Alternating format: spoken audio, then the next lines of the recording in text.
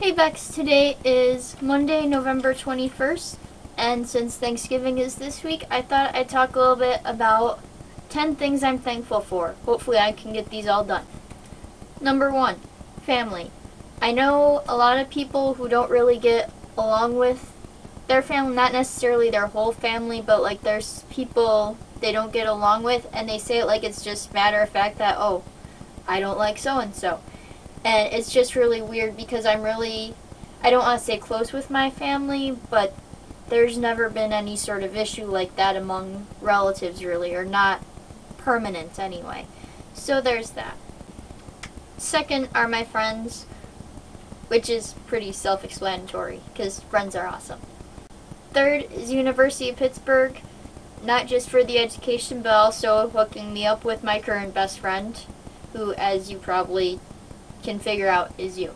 Fourth is technology, just because it gives me the ability to stay in touch with my friends, even though, you know, one is in Pittsburgh, one is in Florida, one is in Rochester, and then there's others from other places, and just all over. Like, none of the friends I actually talk to are around here pretty much. They're all elsewhere, and without technology, I don't know what I would do.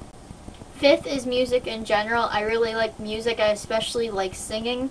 I remember I was going crazy singing with my aunt and uncle that I couldn't just go around the house singing like I could because there was always someone home. But yeah, I really like music. So I'm thankful for music. I'm also thankful for K-pop now. Probably not as thankful as you are, but still pretty thankful for it.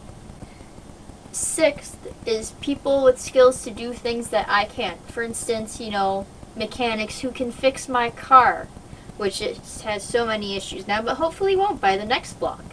So we'll see how that goes. But yeah, people who do the things that I can't. Seventh is good TV shows. Mainly I'm thinking of like Doctor Who and How I Met Your Mother. I pick out these two because these are the shows that can make me laugh and cry and sometimes both at the same time.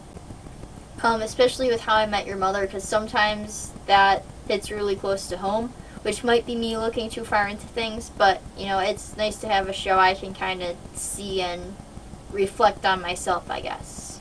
And Doctor Who is just awesome. There's a lot of awesome things.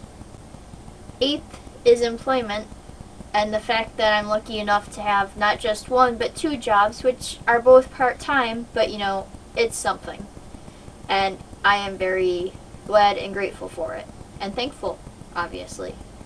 Ninth is that at both these jobs, I have coworkers that I like to hang out with. Not that I really hang out with coworkers much outside of work, but I mean, I like going to work and seeing these people on a daily basis, and that's important.